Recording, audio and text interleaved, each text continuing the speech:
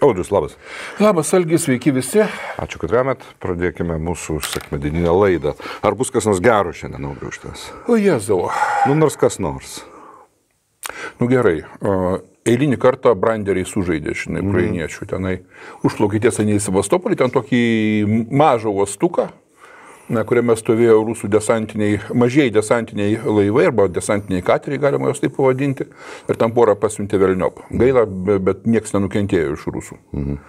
O, ir vėlgi, žinai, tai buvo ne tiek ukrainiečių, sakykim taip, e, sėkmė, kiek rusų dėl bajobizmas. Rusų rusiškumas.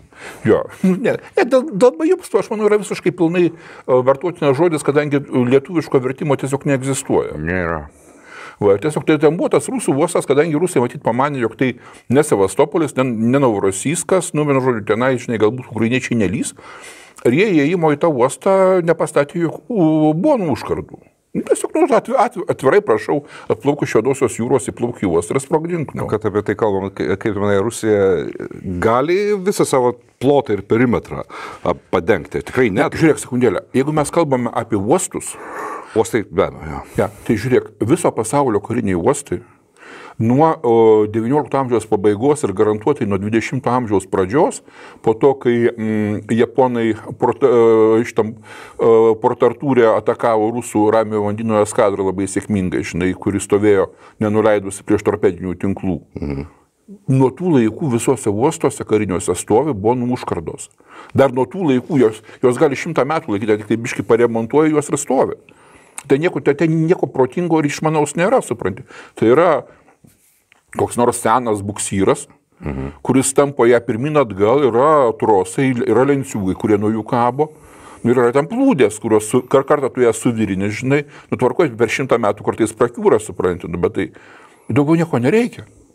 Tu pažiūrėk, bet kokį amerikiečių karinį uostą, ameri, juk ame- amerikiečių kariniai jūrų galiai iššūkio jos uostose iš vis niekada gyvenime nebuvo skyrus Pearl Harborą. Bet ar, ar tai bus, supranti, Ramio vandenino, pakrantės uostai, ar tai bus Atlanto e, uostai, visur stovi bonų užkardos. Įplaukia lėktuvnešį, supranti, praeina abuksyras, užtraukia, supranti, pastato. Nu, tai tai yra... Žinai, nu, kaip žmogus sėda į automobilį, susega diržą. Mhm. Nu, to, to, to, tas pats. Mhm. Nu, bet rusai, jie kadangi ir be diržų važinėja, nu, tai, tai, tai ir bonų užkardų nestato. Diržus tik gaidžiai dadasi, žinai. Nu, tai taip, nu. Juos iki šiol turbūt tai. Nu, tai pas juos o ti- tikri jūreiviai, supranti, įėjimų į savo uostus bonų užkardų nestato. Nu, tai atgavo biškė atakos. Mm, Ir, na, kokia iš to, supranti, yra, sakykim, taip, e, dedamoji karinė vertė, aš sunkiai galėčiau vertinti, bet, nu, belen kaip supranti, dviem laivais mažiau yra dviem laivais mažiau. Mhm. Plus, aišku, moralinis smūgis eilinį kartą, žinai, mm, pretekstas visiems laivyno karininkams keik, e, keikti ir dėti šunus dienas Juodosios jūros laivyno vadovybę ir didinti nepasitikėjimą ją. Mhm. Bet čia, žinai, tiek blogai, kad rusai yra prie to pripratę. Mhm. Ir ne, žinok, bet uh, tai yra vienas iš rusų kariavimo būdų. Tai yra, rusai uh, kariai iš anksto žino, kad jų uh, aukščiausiai vadai yra durniai. Ir jie su to yra susitaikę ir jie mokosi kariauti taip, žinai, kad tu gauna durną įsakymą, ten kažkaip nepavairuoja. Mhm. Supranti, kaip, tarkim, tas vokiškas dabar amerikiečių per, perimtas, supranti, tas disciplinuotas nepaklusnumas, kuris, nu, kuris yra ne- neatsiejamas šitos vadovavimo, užduotinio vadovavimo esmė, žinai, kad gauni užduotį, o jau kaip tu ją įvykdys yra tavo reikalas. Mhm. Tai pas rusus irgi, žinok, panašiai, tai, nu, ten, kaip viskas rusiškai yra, yra nu, pastatyta nuo, nuo kojų ant galvos, žinai.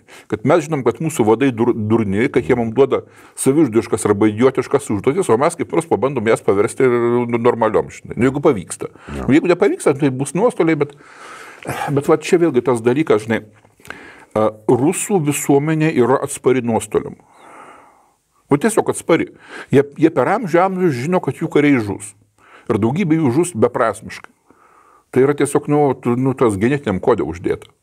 Nu, pamanyk, supranti, nu tenai batalioną pasiuntė į mirtį. Nu ką darysi, žinai, parašysim gražią knygutę, žinai, batalionai prašo ugnies, nufilmuosim pagal tai keletą filmų, žinai, kaip batalioną žūsta beprasmiškai. Mhm. Ir tai padidins, kaip sakoma, jų pasididžiavimą savimi, kadangi mes štai tokie didvyriai, supranti, galim beprasmiškai žūti, žinai, vardan uh, tėvinės pergalės. Ržavo Mirosijų nenapugą, ten prie, jo. prie Ržavo buvo, ne? Ne, tai, tai, tai,